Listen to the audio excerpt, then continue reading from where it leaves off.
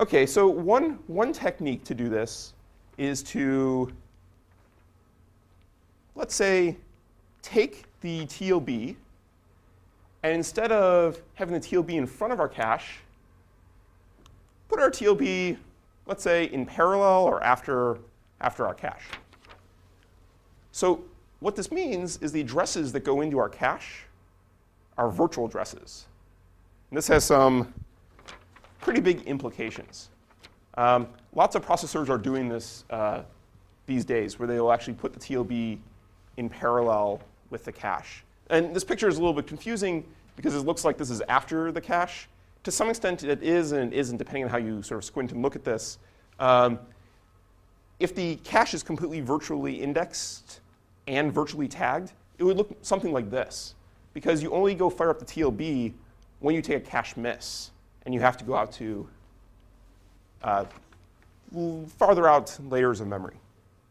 Now, if you have uh, a virtually indexed but physically tagged cache, what that means is the address that goes into the index of the cache array is a virtual address, but then you do the TLB access in parallel, and out comes a physical address. And then you do the compare, the tag match on the physical addresses, that makes a lot of, lot of things a lot easier in life, and we'll, we'll look at that in a second.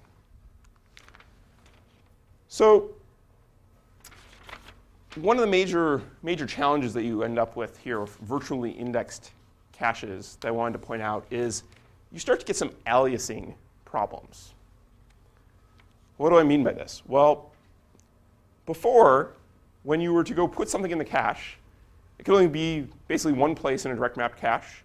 In a n-way associative cache could be in the n different places, so a two-way set associative cache could be in the two ways. But you knew where to look for it, at least. But all of a sudden, if you start to have bits above the minimum page size in the address feed into where it is in the cache, it could actually be in multiple places in the cache. So brief example here.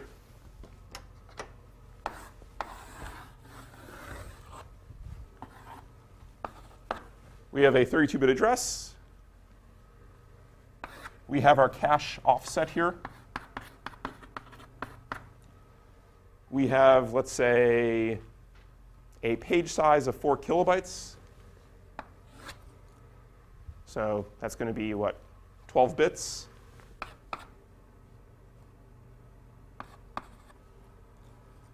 And let's say our cache index or our cache rather has, I don't know, more than four kilobytes in it. So all of a sudden we have a direct mapped cache which has eight kilobytes. Uh-oh. So this, this bit here, so this, is this is our index. Sorry. Uh, our index into our cache has one bit here above the page boundary. And the OS could elect to have this bit here be a 0 or a 1. So what that means is all of a sudden, when we go to index into our cache, the same physical piece of memory might be in two different locations. Or depending on how the operating system sort of lays out memory, you might look in the wrong spot, or you might need to check both places. So we have to start thinking about this, that the bits above the minimum page size, if our cache is bigger than our minimum page, minimum page size, the bits are not going to match. And we will walk through an example of that in a second. Also, um, virtually addressed caches have some other, other challenges here. Um, because two applications can have the same virtual addresses, and let's say you're time multiplex between application one and application two, all of a sudden these two applications are going to go into your cache, and you might have one application hitting on the data of another application. So if two applications are trying to go access address 5, and they have different values stored at address 5, and are virtually indexed cache, all of a sudden you might start to get something weird here. You might actually end up where if, if you don't protect against this, one process is reading another process's data out of the cache. So you need to protect against this. And there's a couple different approaches. One approach is actually just to flush the cache on every context swap. So every time you change processes, flush the whole cache. That sounds really expensive, but believe it or not, that's actually done with uh, non, non-trivial uh, probability, or that actually is done in some actual real uh, systems out there. A little bit uh, nicer way to do this is to have address space identifiers. So you actually tag the cache with an address space ID, and it's part of the tag information. So it's not just the virtual address that matters, but it's also which process ID or which address space ID. So it's another sort of thing, but that increases your tag bits. So you got to be a little bit uh, careful about that.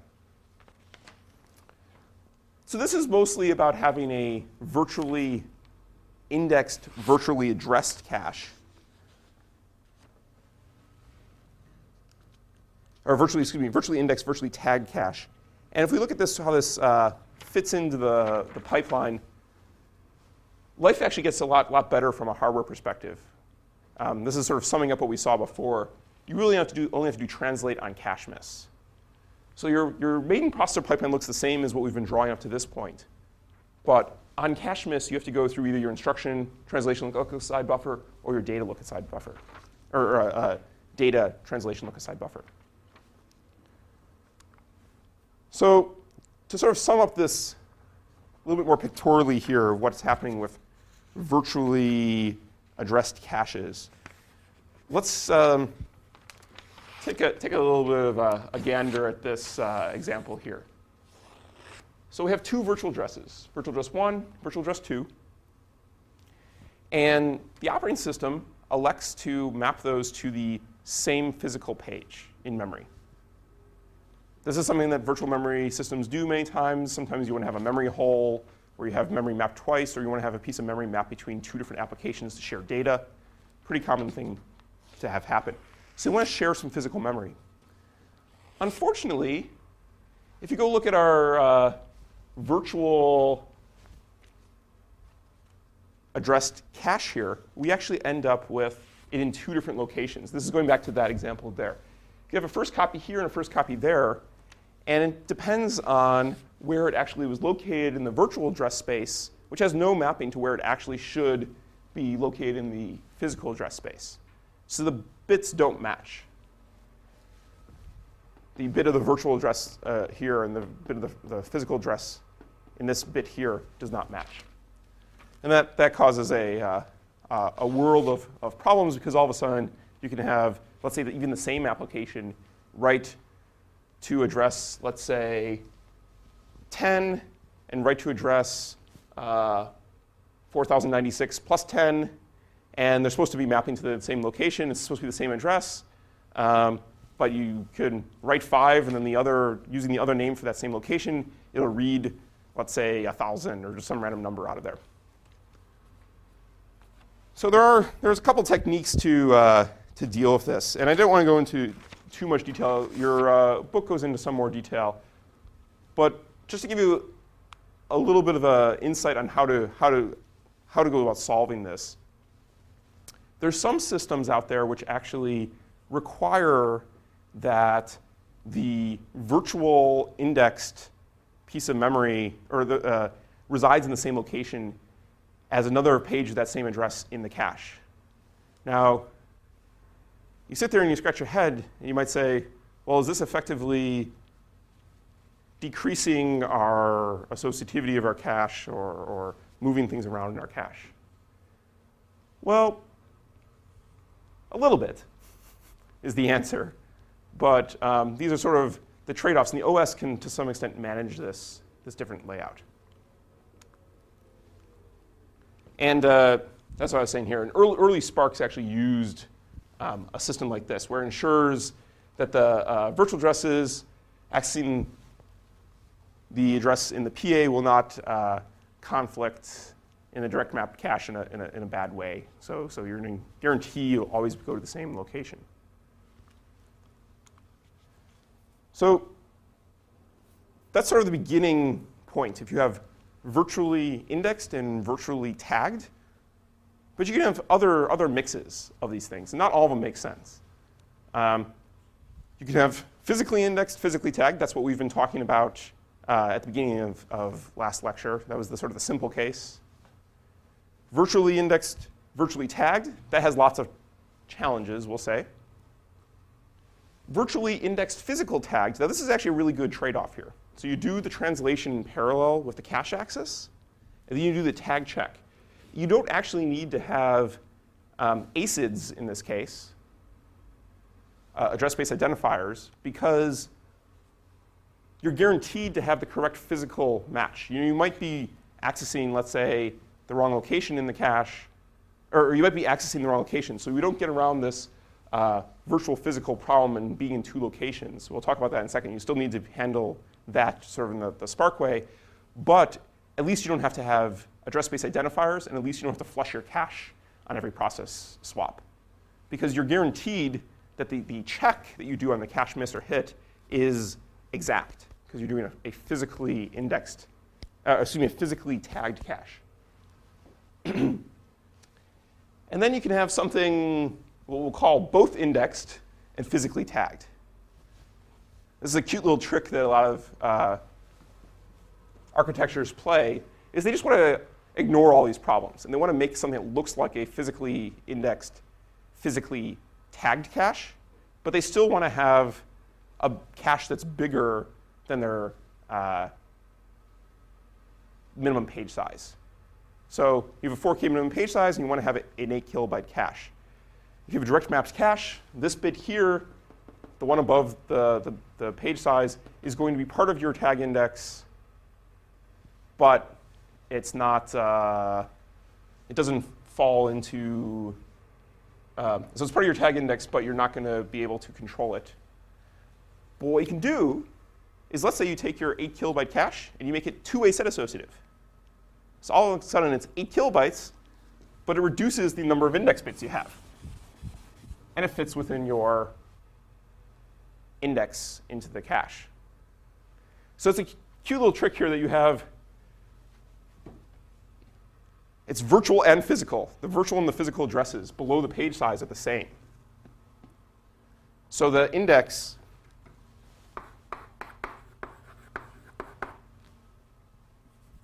into the cache doesn't get changed after you go through address translation. So you'll see this where people actually add associativity to their L1 caches just to avoid having to do address translation. And then you do address translation in parallel and you do physically tagged and do the, the, the, the tag check physically. There's this other one down here that I had to have a X through. I, haven't really, I don't think I've actually ever seen one of these built. You can, because it kind of doesn't make sense. Having a physically indexed, virtually tagged cache. Yeah, not sure why you'd want to do that. Um, because usually the hard part is coming, uh, generating the, the address to stick into the cache. So I have, I've never actually seen one of these, but it's always possible to go, go build something like that.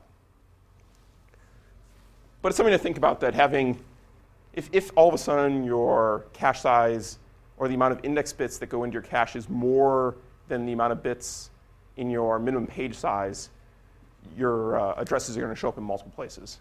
And you have to either deal with that or uh, at least understand what's going on there. And it's usually done by the operating system. One, one final note, um, we've mostly been talking about multi-level page tables where you sort of index in and then you have a tree of pages that come out of it. This is only one approach. People have built stranger things out there and still implemented paging. That's only one structure to hold all the pages in. So one thing you could think about is if you have lots and lots of page tables, and they're all mapping, let's say, to the same uh, they all look similar. You can try to share different portions of the page table, and many times the operating system does that. But another way to look at it is you can try to have a table which takes a physical page and maps it backwards to a virtual address. These are actually usually called inverted page tables. And on first appearance, this sounds weird because it's the map in the direction you don't want, you would think. But to make up for it, what usually architectures do to solve this problem, the people, the architectures that have had inverted page tables do to solve this problem, is they have a fast hashing uh, function and a really small hash map, which does the correct direction. And then if they have the uh, slow direction, they basically sort of walk the page table and a complicated hashing scheme, but basically it's kind of one of those linked list hash functions. So you, you check one location in the uh, physical to virtual table. If it's not there, there's a link to another location, another location, and if it's um, it actually ends up working out not, not, too, not too bad. Uh, but that's not very common today. So I just wanted to put out there that you can actually have the idea, or you can have different arrangements of pages, and the canonical page table we talked about today, or uh, in class last time, was only one way to go about doing it. Okay, so questions on virtual memory caches before, yep.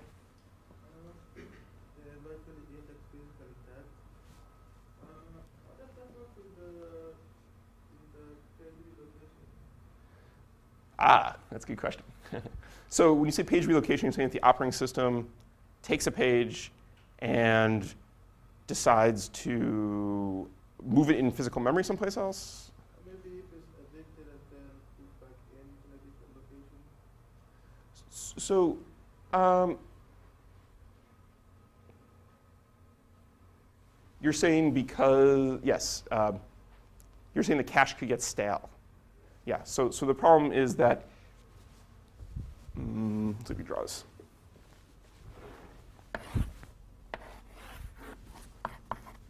Here we have a, a linear page table. We put in address 5,000 hexadecimal, and that maps to some location in our physical memory let's say, to make life easy, it maps to address uh, 8,000 hexadecimal. Now, the OS comes along and swaps this page out to disk. Sometime in the future, it decides to pull it back in. And it pulls it back in down here at uh, A00 hexadecimal. 8000 hexadecimal. And it updates the page table to point to there. Now, um, what Govan was trying to say is, in our cache, we had some data that pointed to this physical memory that was in, in the cache. Now, all of a sudden, we, we go and we move everything around. Is this, is this a problem? Because we're basically going to uh, do a index, and the physical address that comes out is not going to match what was in there for that data. That's actually OK. We're just going to get a miss on that, that location. So we're just going to get a miss. And then it's basically going to evict it, and then go pull in that exact same piece of data. That's actually not so bad. Um, now, there are other subtle, subtle, more subtle challenges with these virtually indexed, virtually tagged uh, sorts of things that will many times require you, when you go to do this remapping, to actually invalidate all the memory that you kick out. Because you actually might get a hit, even though it's pointing to the wrong location. So let's say the other, the other case is you're in a virtually indexed, virtually tagged cache. And we did this remapping, this exact same remapping here. Well, there's different physical memory underlying, underlying address 5,000 virtual now. And we want to make sure we don't take a hit on the old data, which is still in our cache. So typically, the scheme to go handle this is you actually have to invalidate all that memory out of your, uh, actually it's typically flush and invalidate operation out of your cache. And uh, depending on what architecture you're on, some architectures actually have instructions that flush the entire cache. So x86 has something called write back and invalidate, which will actually flush the entire, it'll, it'll write back all the data and flush the entire cache. Um, other architectures, so something more like MIPS, does it on a line-by-line basis. And it's a, basically an operating system only instruction where you can actually access uh, an address and given that address, um, or excuse me, you, you present an index into the cache. And given that index, it'll flush that data uh, cleanly. Now, um, then there's something sort of in the middle if you want to actually have the user be able, be able to do this sort of flushing. You need to think a lot harder about this because you want some way for the user to be able to present a virtual address but have that name something about the cache. Um, so there are some ways to do that, but um, it's kind of, the, the corner cases there get pretty tricky. But so yeah, to, does that answer your question? So you, you, you get a miss when you go to access it uh, someplace else, and that's actually okay. Now, trickier thing is let's say the OS decides to point at this some other way. And let's say DMA or use another processor or something to go overwrite this piece of memory. Now your cache is stale. But this is sort of a more involved question going to if you have multiple processors, how do you keep memory from multiple processors coherent, which we're going to be talking about in two lectures about cache coherence between different processors. If it's on the same processor and it's accessed the same way, the cache is going to pick up that change. If it's accessed, let's say,